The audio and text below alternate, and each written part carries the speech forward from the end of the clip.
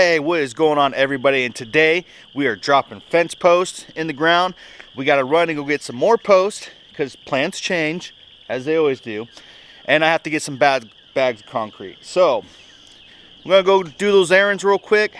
We're gonna hustle right back here and we're gonna get started dropping posts. Hey, and if you ain't subscribed yet, be sure to subscribe. It really helps us and like I always say, it don't cost you nothing.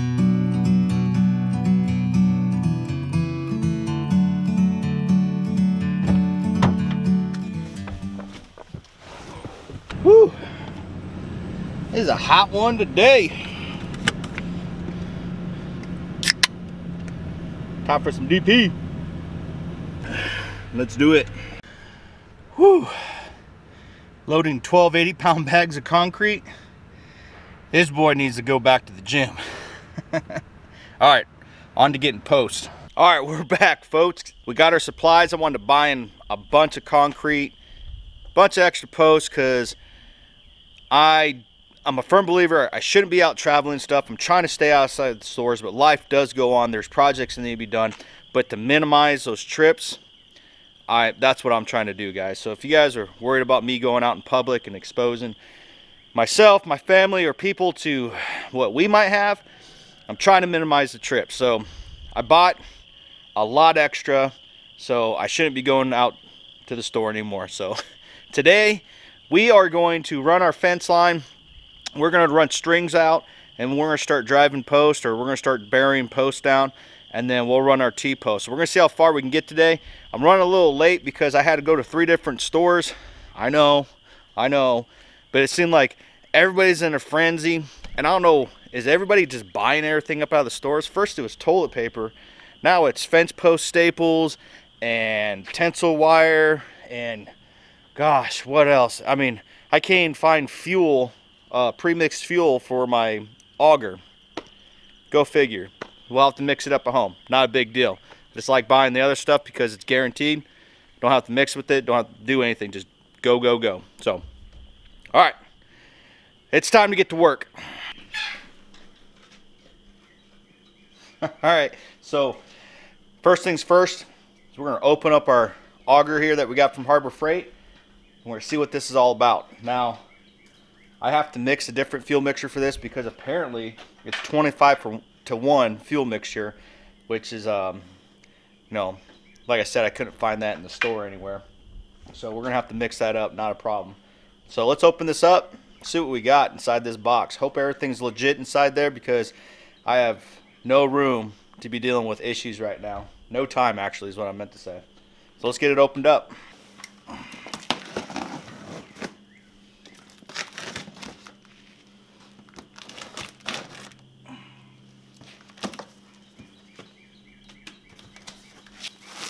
Ooh, smells like brand new. No broken pieces of plastic. Everything seems legit. Looks like it comes with a little toolkit, a little fuel mixing bottle, instructions. Not bad. Now we gotta save this box for the warranty. What do you mean? We're actually reading the instructions, but I'm just joking. Put that off the side. I'll throw it out. I'm on that. Well, they're making a big deal out of that fuel mixture, so it must be pretty important. It's it noted everywhere. So we'll have to mix that up just right. Like, like I said, it came with a little bag of tools.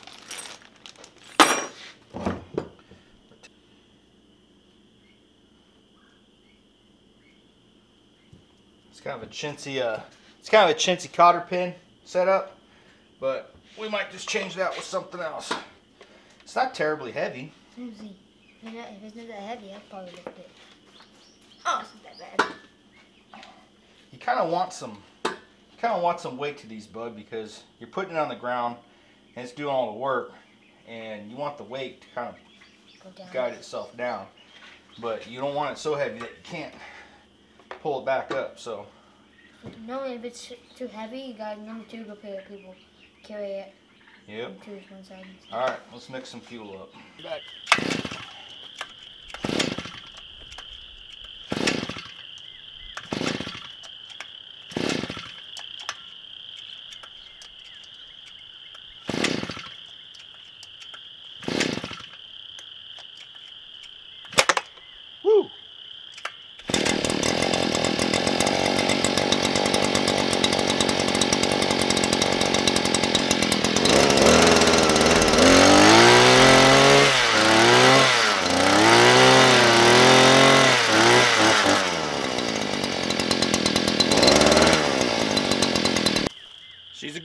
Well,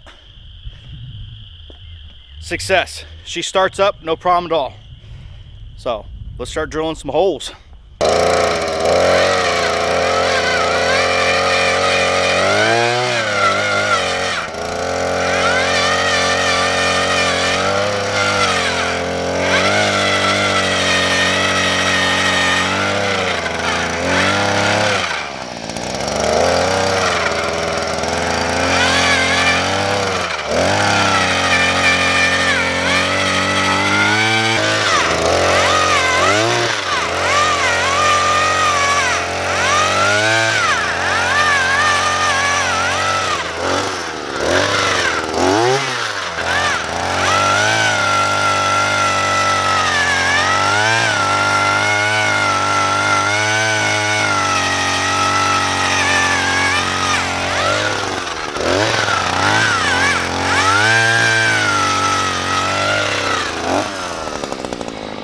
Like uh...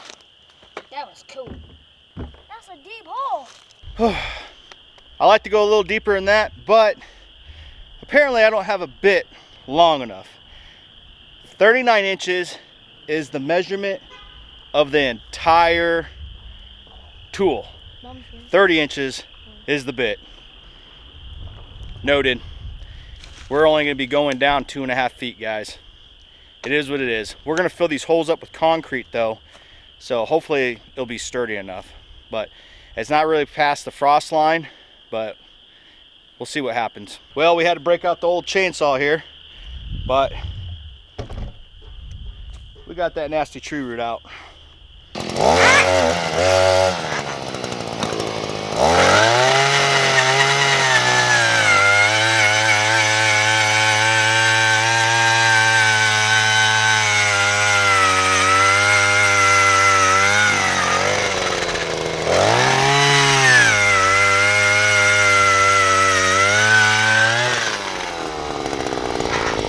Oh man, even drilling the post aren't isn't that easy of a job. What we ran into was some tree roots. We're right by a big batch of trees. I'm gonna run into this all the way, probably with every hole I have. So I broke out the chainsaw. We'll dig that down in there. I know it's horrible to run your chainsaw in the dirt, but at this point, it's a tool. I'm gonna use it for that. It's gonna make my job a lot easier. There's no other way around it.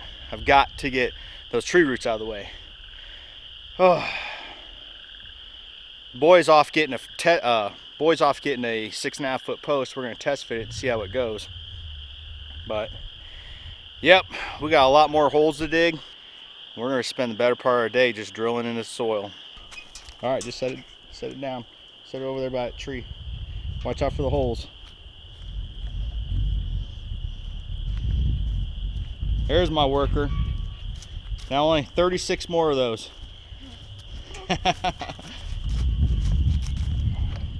Go ahead and drop it in that hole. Ooh, I about fell in a hole, guys. Wait, I about fell in this hole. Safety on the homestead. Perfect.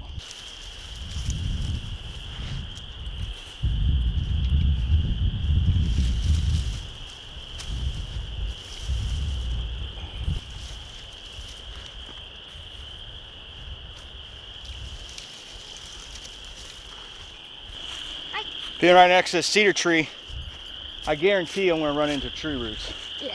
You wanna bet? No. I ain't taking that bet. Mama ain't taking that bet. Oh man, what a day. It's been a day, guys. So, so we got all the fence post holes drilled out, except for the ones going in between. We're gonna do that tomorrow, but so let's check out this progress. So, got the lines down there. I tell you what, that post hole digger, it was a blessing. That auger, it was a blessing and a curse. Cause it ain't no punk. It takes some it takes some energy to run that thing. Now I didn't string line anything. I practiced the method that if you're a mortarman in the military, it's called near far line. So what I did is I dropped two posts, got them straight, leveled, went to my next two posts I wanted to hit, and then I look directly at them and I see if the front post or the back post is off a little bit like this, near far line. And then we set our next hole. Now, Had to get the Kubota out because I had I had a big giant tree that was right in the way of my post. Because guess what? Plans changed again. Pushed my fence line about 25 feet more that direction. I did drill holes here. And I was gonna go that direction there and go straight up. Problem I ran into, tree roots. I have lots and lots of tree roots around here, people. And that auger, it can only go through so many and then it wants to bind up.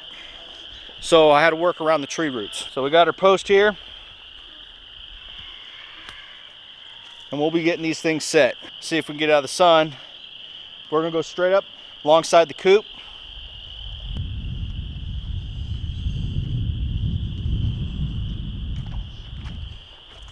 Anybody local wants some free bob wire? Try to stick to the original property line. We actually came in a little bit. Up top, I'll show you, I wind up stepping off the property line quite a bit. So there's where the original posts were at, right there. And you can see I came in off the property line. What's really bad is the fact that after every little bend, I gotta drive three posts and build supports because I don't want this getting wonky on me. Another thing I gotta do you see these big humps here. I gotta get the tractor and even that all out. Oh yeah, it's tick season too. Been pulling those off of me today. So right here, you see it. There's the original fence line right, right there. And here's my new fence line right, right here. Here's my corner post, new fence line.